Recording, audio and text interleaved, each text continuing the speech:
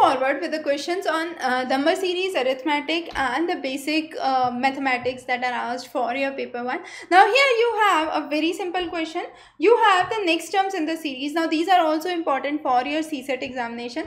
You have the number series that is 1, 3, and 5 so the next number would be definitely 7 here you have 3 5 7 so the next number would be of course 9 but all of the choices have 7 and 9 so what we need to do is understand the letters okay so the pattern of the letters is a b c d E, F, G, H. Okay. So I am leaving three letters and then the fourth letter. After H, it is uh, H, I, J, K, L, M N O P okay? So here again I leave three letters the fourth letter. Again I leave three letters the fourth letter. So it would be 7 P 9 as the right option okay? The next question is further interesting. So how we are trying to understand this question? In this question first of all we find out the difference between these two numbers okay? So in the this case the difference is 3 okay? So what I do is for the first value what I do is so this middle value would be the square of the difference. This value would be 29 minus 3 plus 1 and this value would be 29 plus 3 plus 1 okay? So I would have the values here and here that are quoted. Now if I want to say, find these three values how would I do? The difference is 5 okay? So the middle value would be what it would be 5 square which is 25. Now this value would be 55 minus 5 plus 1 and this value would be 55 plus 5 plus 1. Okay, so this would be 50 plus 1 that is 51 and this value would be 60 plus 1 so it is 61 so 51 25 and 61 would be the right option here.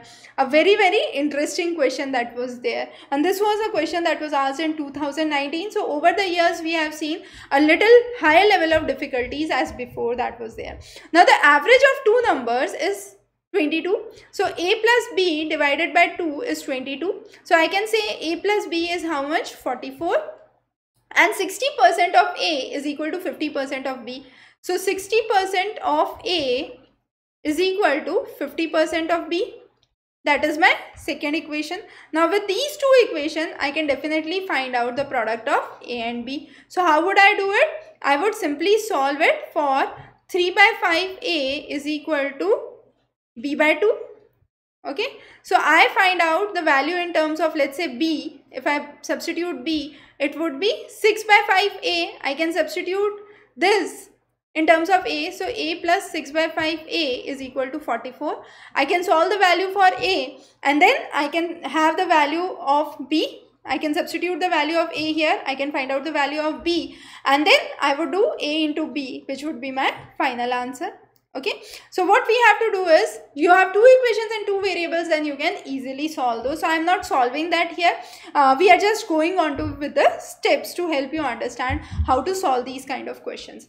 Now here again the sum of the number and its inverse is minus 4 so x plus inverse of x that is 1 by 4 1 by x would be minus 4 the sum of their cubes. So x plus 1 by x whole cube would be how much? So that would be I would have a plus b whole cube formula. So that would be a cube plus b cube plus 3ab a plus b. So that is how you solve it. So I'll just solve it. I'll just substitute the values here and I'll solve this for this question and I'll have the values here. Okay. So uh, I can simply uh, again what I can do is I can uh, substitute the values and uh, start solving this question. Okay. So uh, that is what we are trying to do while solving this question. Okay. So uh, what is important is I need to find out the value of the sum of their cube. So I need to find out x cube plus 1 by x cube. Okay. And what I have taken here is 1 by x the whole cube which could be expanded at this. Now this 1 by x is minus 4. So what I do is I put minus 4 here. So I say minus 4 cube is equal to I solve this. Okay. So that is x cube plus 1 by x cube plus 3 x into 1 by x okay? Multiplied by a plus b which is x plus 1 by x which is minus 4 okay? So i just have the values here and therefore i solve this value okay? So this is minus 12 and this is 64 4 into 4 into 4 that is 64 so i have 64 is equal to x cube plus 1 by x cube and minus 12 so i take minus 12 uh, value here okay? And then uh, or I take this is minus 64 okay? So I take minus 12 value here or vice versa and I would have minus 52 as the right option. So this value would be how much? This value would be minus 52 I repeat again I have the sum of number and its inverse as minus 4 so I would write so just to repeat it again x plus 1 by x would be how much? Minus 4 and the sum of their cube so I have to find x cube plus 1 by x whole cube uh, or 1 by x cube. That is the value I have to find. But what I can do is 1 plus 1 by x whole cube. That I know is a plus b. So I can write it as x cube plus 1 by x cube plus 3 into x into 1 by x into x plus 1 by x. Okay? So that is a cube plus b cube plus 3ab a plus b. Now this would be equal to x plus 1 by x whole cube. So that is minus 4. x plus 1 by x is minus 4. So I have minus 4 whole cube that would be equal to x cube plus 1 by x whole cube plus 3 x and x cancels out and this value is minus 4 so 3 into minus 4 okay solving this it would be minus 64 is equal to x cube x cube plus 1 by x cube minus 12. So I take 12 here. So it becomes minus 52 is equal to the sum of the cube. So minus 52 is the right option here. The next question is again interesting. 300 gram of sugar solution has 40% sugar. So how much sugar actually is there? So 40% of 300. So that is 120. So 120 grams of sugar is present. Okay. As simple as that. Now how much sugar should be added to make it 50% of the solution? So 120 plus x and 300 plus x because both of the quantities would increase if I am adding sugar. The total solution would also increase as well as the proportion of sugar would also increase and this ratio would increase by how much? 50% so 1 by 2. Now this is as simple as that. So I solve the values for x here and I get the answer. So simply you have to solve this equation and get the value for x. The next question is a 50 year old man has a son whose age is two-fifth of his age. So let's say the 50 year old uh, old man has an age of 50 years as we know. Okay, so son's age would be how much? 2 by 5 of 50 year which is 20 years. Now, after how many years the ratio of their age of the man to the son would be 3 is to 5 is to 3. So, after how many years? So, 20 plus x, okay, and uh, then I have 50 plus x. So, I am increasing the age of both the son and the man. Now, the ratio of the age of the man to the son would be 5 is to 3. So I solve this equation and I calculate the value for x. Now what is there after how many years? So that is what I have to find the x years. So x would be calculated. So simply solve this equation and find out the value for x. So that is uh, another kind of question. Now ratio and proportion are the kind of questions which have increased their uh, proportion in the recent examination. So let's talk about one of such questions. So ratio of two numbers a by b is equal to 3 by 7. Now after adding 9 to each, so a plus 9, b plus b plus 9, okay, a plus 9 divided by b plus 9 makes it 9 by 17.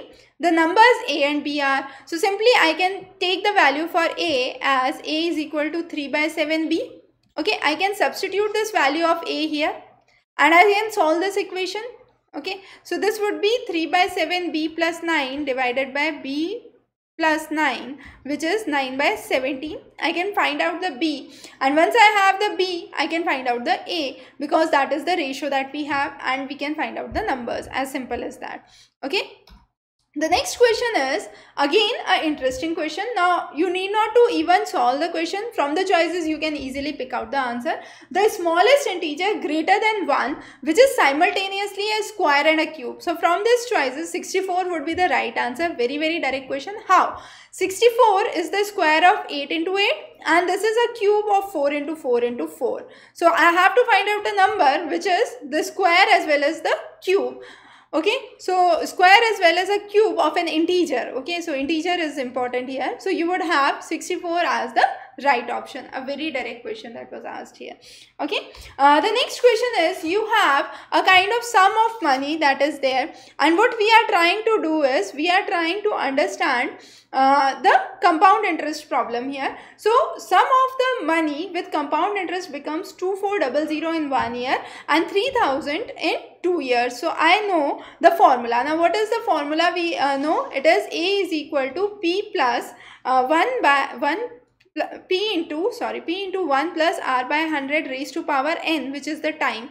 So in the first case it is 2400 is equal to uh, p 1 plus r by 100 in the next case it is 3000 is equal to p 1 plus r by 100 square. Okay? Since it is for 2 years. Now I have to find out the principal amount. How can I go around it? The first way would be finding out the rate how would I calculate the rate? I can simply divide these two equations. So 3000 by 24, 3000 I'll keep on the upper side, 3000 by 2400 would give me P 1 plus R by 100 square divided by P 1 plus R by 100. Okay, so I cancel these two. So what remains is 1 plus R by 100 is equal to this. I find out the value for R. Solving this, let's say R comes out to be 24 uh, 20 um, let's say 25 percent or whatsoever the value comes out for r uh, i have to find out the principal amount. Now i can find out the principal amount. I can just put the value of r here and find out the principal amount that is there okay? Now this was the interest that was seen okay? So this was the compound interest. The sum of the money with the compound interest becomes 2400 uh, in one year and 3000 in 2 years. So what I have to find out is the principal amount that is P.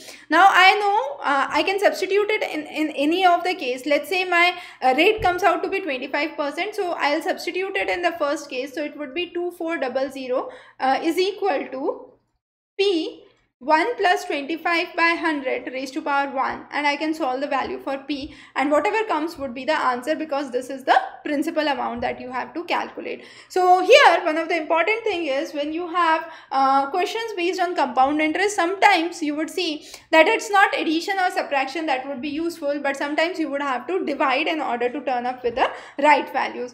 Now this is a very very interesting question based on profit and loss. Every time you are seeing one question either from profit and loss or from compound interest. So cover these topics very very carefully, very very important. Now here you have by selling a mobile for 15 uh, 1536 amit loses 20% so that means when he is let let the original price be 100 now when he is selling for 80 how much is the amount? 1536 so what would be amount when he sells for 100 it would be 1536 divided by 80 into 100 okay now the question says uh, what would be the percentage he would gain and lose by selling it for 2000. Now let me first solve this. So it would be 5 by 4 okay? Now when we solve this let's say this comes out to be 1920 okay?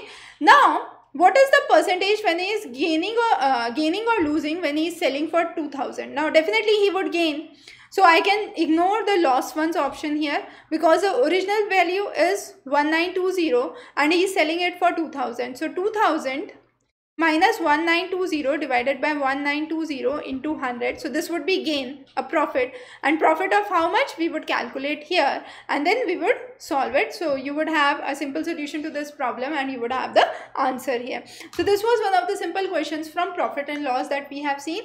Uh, so we you must cover compound interest, ratio proportion and profit loss problems very very carefully. With a changing trend, at least one question from these sections are asked. So cover those very very carefully and we would be of course doing many more sessions for you. Have a wonderful day ahead.